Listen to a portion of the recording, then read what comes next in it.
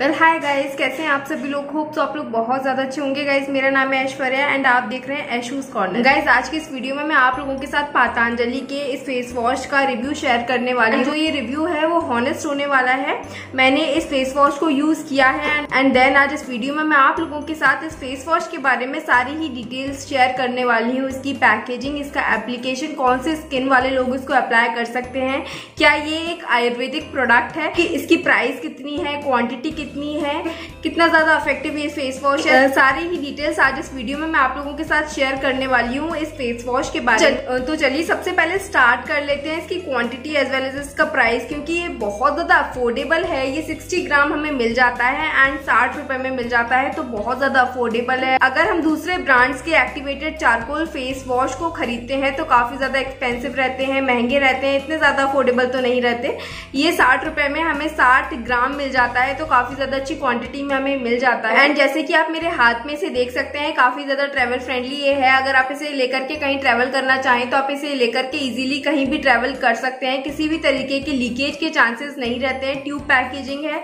अगर कहीं by chance गिर भी जाता है तो टूटने के जो चांसेस है बिल्कुल भी नहीं होते हैं। वीडियो में आगे बढ़ने के पहले एक चीज़ जो मैं आप लोगों के साथ शेयर कर देना चाहती हूँ वो ये है कि, मैं कोई भी ब्रांड के साथ या किसी भी ब्रांड के खिलाफ बिल्कुल भी नहीं कोई भी प्रोडक्ट हो उसके इंग्रेडिएंट्स को देखने के बाद ही मैं ये डिसाइड करती हूँ कि ये जो प्रोडक्ट है वो हमें यूज़ करना चाहिए या फिर उसे यूज़ नहीं करना चाहिए। मैं किसी भी प्रोडक्ट या फिर किसी भी ब्रांड के खिलाफ बिल्कुल भी नहीं हूँ।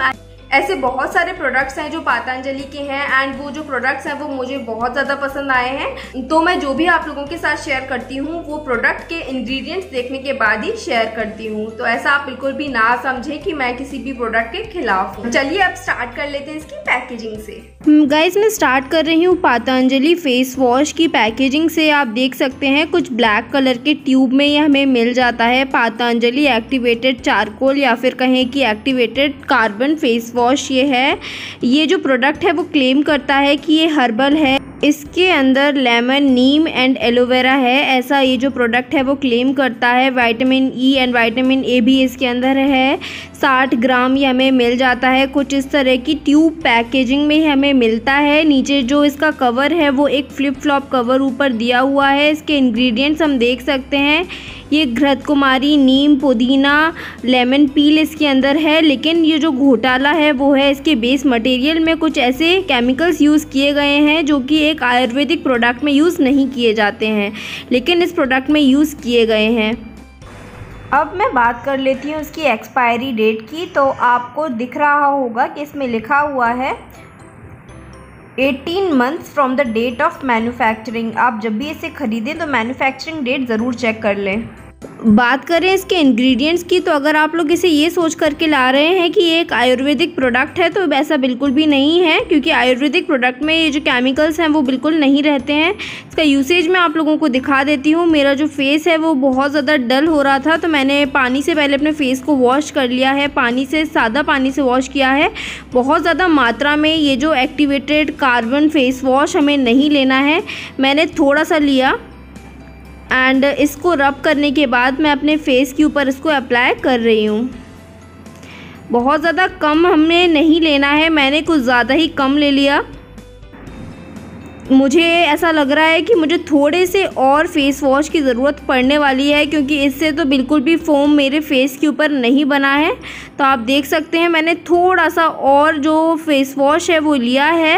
एंड अब आप देख सकते हैं, मेरे फेस पर कितनी ज़्यादा मात्रा में ये जो फोम है वो बन रहा है। फेस वॉशेज़ में कम से कम फोम बनता है, यानी कि झाग बनता है, वो जो फेस वॉशेज़ होते हैं, हमारे स्किन के ऊपर बहुत ज़्यादा माइल्ड होते हैं, हमारे स्किन को बिल्कुल भी ड्राई आउट नहीं करते हैं। हैं तो मुझे माइल्ड फेस वॉशेज़ ही पसंद हैं। आप देख सकते हैं कि ये जो फेस वॉश है हमारे स्किन के ऊपर बिल्कुल भी माइल्ड नहीं है।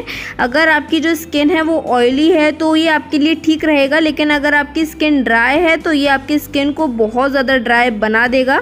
मेरी स्किन ऑयली है लेकिन इसको यूज़ करने के बाद मेरी जो स्किन है वो ड्राई हो गई थी। चलिए मैं आपको अपने फेस वॉश करके भी दिखा देती हूँ कि किस तरह से आ, मेरा जो फेस है वो हो गया था इसको वॉश करने के बाद।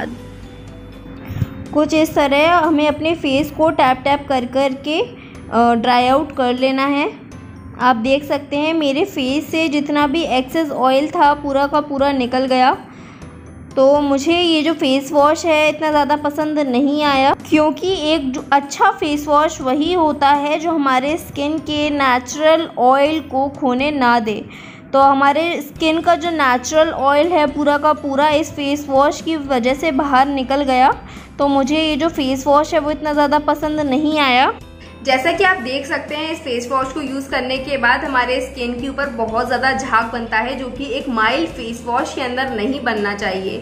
तो ऑफकोर्स ये जो फेस वॉश है ये माइल्ड है। अगर ये जो फेस वॉश है ये माइल्ड होता तो हमारे स्किन के ऊपर इतना ज़्यादा झाग नहीं बनता। आ, क्योंकि कोई भी फेस वॉश अगर वो माइल्ड है तो उसको अप्लाई करने के बाद हमारे स्किन के ऊपर बहुत ज़्यादा झाग नहीं बनता है। आ, क्योंकि जब हमारे स्किन के ऊपर बहुत ज़्यादा झाग बन जाता है तो हमारे स्किन का जो नेचुरल मॉइस्चर होता है वो कहीं ना कहीं लॉस्ट हो जाता है। इस वजह से आ, मैं बहुत ज़्यादा झाग बनने वाले फेस वॉशेस को इतना ज़्यादा पसंद नहीं करती हूँ। इसको अप्लाई करने के बाद आपको अपने स्किन के ऊपर मॉइस्चराइजर लगाना ही लगाना पड़ेगा क्योंकि अगर आप अपने स्किन के ऊपर मॉइस्चराइजर नहीं अप्लाई करते हैं तो आपकी जो स्किन है वो बहुत ज़्यादा ड्राई आपको लगेगी।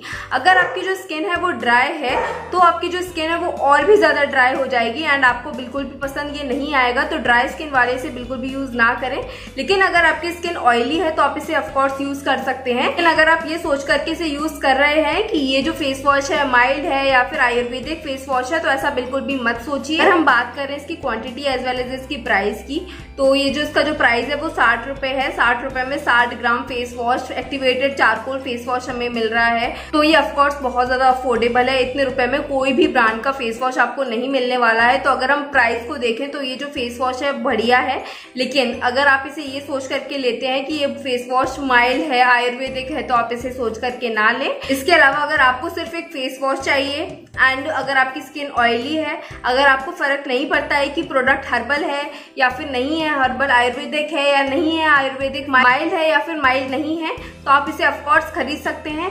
लेकिन ऐसा सोच करके बिल्कुल भी ना खरीदें कि ये एक आयुर्वेदिक प्रोडक्ट है। गाइज़ मैं उम्मीद करती हूँ कि जो ये मेरी वीडियो है, आप लोगों के लिए ऑफकोर्स बहुत ज़्यादा हेल्पफुल रही होगी। अगर मेरी वीडियो आप लोगों के लिए हेल्पफुल रही हो तो मेरी वीडियो को लाइक ज़रूर कर दिया करें। आप लोगों का एक लाइक हमारे लिए काफ़ी ज़्यादा मायने रखता है तो लाइक ज़रूर कर दिया करें। साथ ही साथ मुझे कॉमेंट करके भी ज़रूर बताएँ कि मेरी जो वीडियो है आप लोगों को कैसी लगी। एंड मेरी वीडियो को अपने सारे सगे संबंधियों के साथ शेयर करना बिल्कुल भी ना भूलें। इसके अलावा अगर आप लोग मेरे चैनल पर न्यू है तो मेरे चैनल को सब्सक्राइब ज़रूर कर लीजिए। साथ ही साथ बेल आइकन को भी हिट कर दीजिए ताकि मेरे आने वाले वीडियोस की नोटिफिकेशन आप तक सबसे पहले पहुँच पाए।